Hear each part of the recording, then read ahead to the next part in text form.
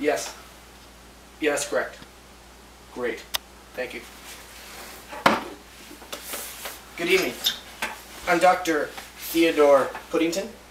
You might remember me from such documentaries as The Red Fox Heads West, Belugas of the St. Lawrence, and the hit TV show Canadian Gladiators. What, you, you've never heard of Canadian Gladiators? No? no? Well, anyways, we're here today to talk to you about the marbled Murbleon, recently discovered outer galactic space creature, honed in to our planetary absorption. That is a word.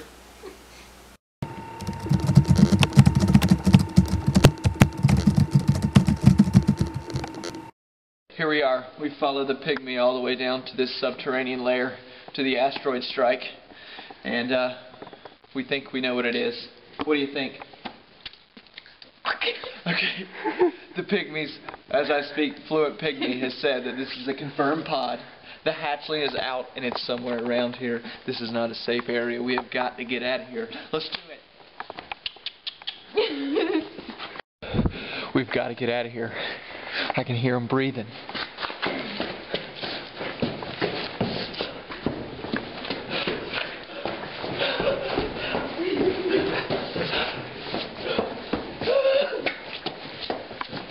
Well,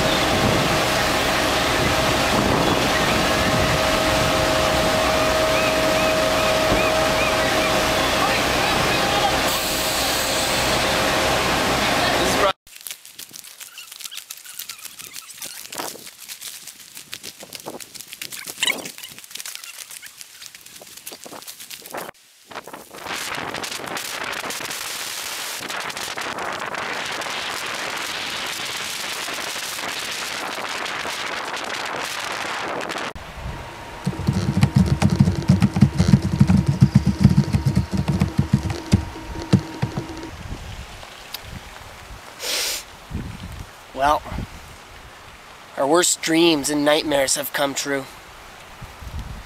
On this dead gray whale, it's been washed up for probably half a month, is the first evidence on planet Earth the marble myrmidon has touched down.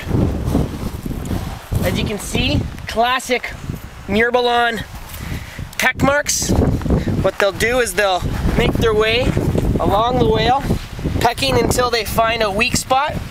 Once they find a weak spot, they'll burrow their heads in and feed like the ravenous little rats that they are. This whale here will sustain a flock of myrmidons for two weeks. As you can see, they've already burrowed themselves into the skull, eating the most nutritious part of the whale, the brain. And they're here. Yeah. They're always here. Once they've established a colony, be up in the forest looking at us with their beady little eyes. We should watch our step. We should get out of here.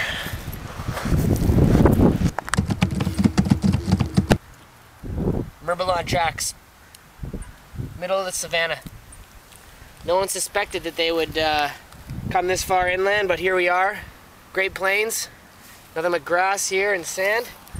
Yep. They're here. Let's roll. Here we are in northern Namibia. We have had reports of a male myrmidon possibly sighted in the area. So, we are here to meet a local contact named Nick Nack Paddywhack, give a dog a bone, and he's apparently supposed to meet us in this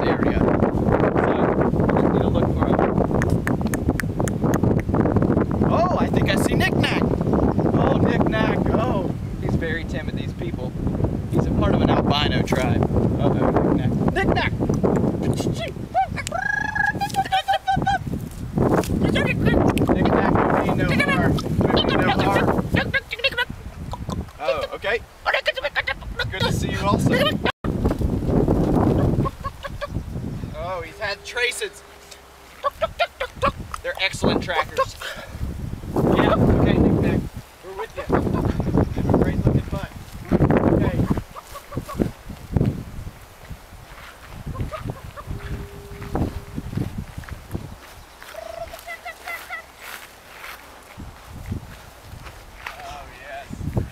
He's very hungry at this time.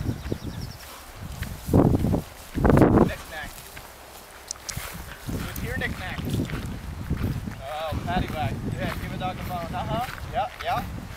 Oh, I can see clear as day. Look at this. This is an ancient ritual.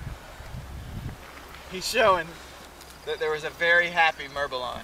You can see how he makes interesting marks in the sand. Alright, let's go. Here we are at Nick house. He's visibly distraught. This is what's left of his house.